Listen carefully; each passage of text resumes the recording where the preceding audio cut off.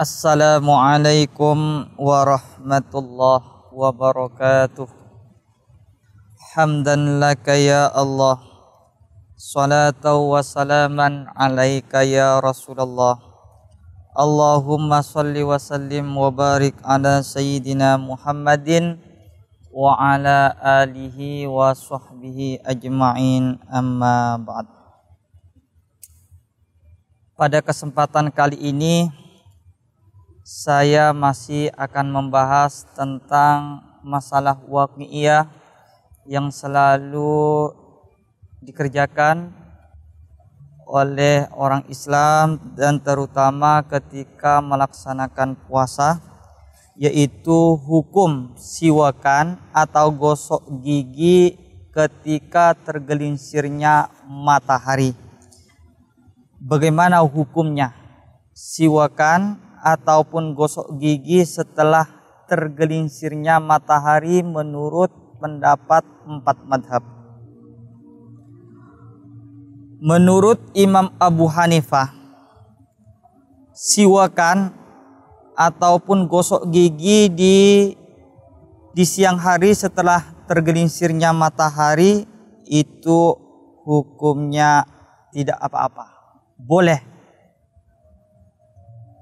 gosok gigi setelah tergelincirnya matahari. Di dalam diambil di dalam kitab uh, karya Imam Al-Kasani yang wafat pada tahun 587.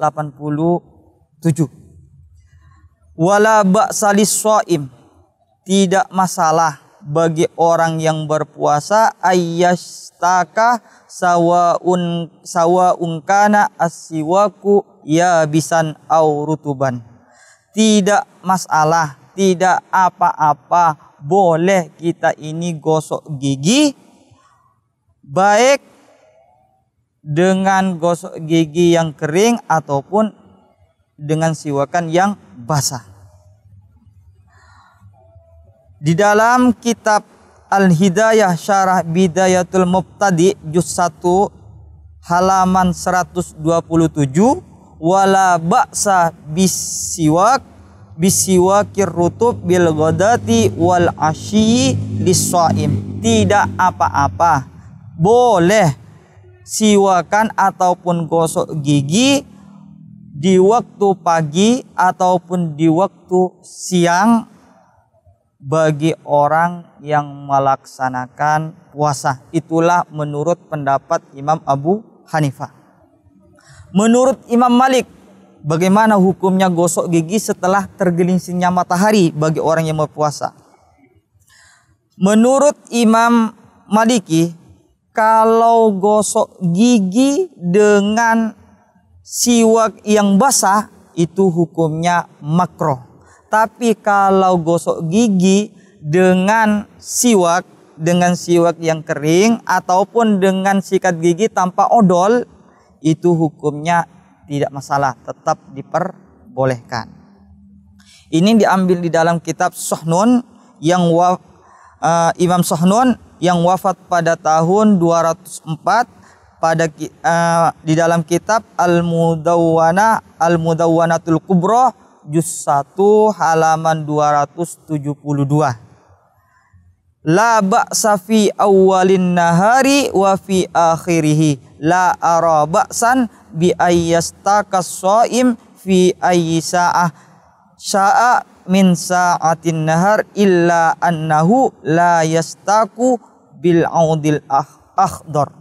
Kata kata Imam Maliki tidak bol tidak masalah boleh kita ini siwakan ataupun gosok gigi di pagi hari ataupun di siang hari. Kapan pun kata Imam Maliki. Illa kecuali kita ini siwakan dengan kayu arak ataupun dengan sikat gigi yang dikasih odol. Itu hukumnya makro. Nah, kalau kita ini siwakan menggunakan odol menurut Imam Maliki juga hukumnya makruh. Tapi menurut Imam Abu Hanifah mutlak nggak masalah, baik rutub ataupun tidak tidak masalah. Menurut Imam Syafi'i, qala asy-Syafi'i wal ashab yukrahu lis-shaim as-siwaku ba'da zawal hada huwa al-masyhur. Wala farqa baina shaumin nafli wal fardi menurut Imam Syafi'i dan ini menurut uh, kaul yang masyhur hukumnya siwakan setelah tergelincirnya matahari adalah makruh. Tidak ada beda antara yang sunnah maupun puasa yang wajib. Wal istiyaku qabla zawal bir rutub wal yabis jaisun bila karaha. Tapi kalau kita siwakan sebelum tergelincirnya matahari itu hukumnya boleh dan tidak mak makruh. Bahkan menurut Ibnu Taimiyah, walam yakum ala karaha ala karahiyatihi dalilu syar'in yasluhu ay yakhussa umumati nususis siwak. Tidak ada dalil syar'i yang layak untuk mengubah hukum siwak menjadi hukum makruh. Ini diambil dari kitab Fatwa Ibnu Taimiyah juz 25 halaman 266. Menurut Imam Asy-Syaukani, fal haqqu kata Imam Asy-Syaukani, fal haqqu annahu yustahabbu as-siwaku lis-shaim awwalan nahari wa akhirahu wa huwa madhabu jumhurul a'immah. Menurut Imam Asy-Syaukani di dalam kitab Al-Autar juz 1 halaman 108 maka yang benar hukumnya siwakan bagi orang yang berpuasa itu hukumnya sunnah baik di pagi hari ataupun di siang hari tetap disunnahkan untuk siwakan dan inilah pendapat jumhurul a'immah menurut Ibnu bin Bas yushra'u isti'malus siwak lis-shaim fi awalin nahari wa akhirih. Disyariatkan menggunakan siwak ataupun gosok gigi bagi orang yang berpuasa baik di awal uh, di pagi hari ataupun di siang hari. Tidak masalah, tidak apa-apa. Itulah pendapat para imam, para empat madhab ataupun imam-imam yang lain terkait tentang hukum siwakan setelah tergelincirnya matahari. Mungkin hanya ini yang dapat kami sampaikan, kurang lebihnya kami mohon maaf. Assalamualaikum warahmatullahi wabarakatuh.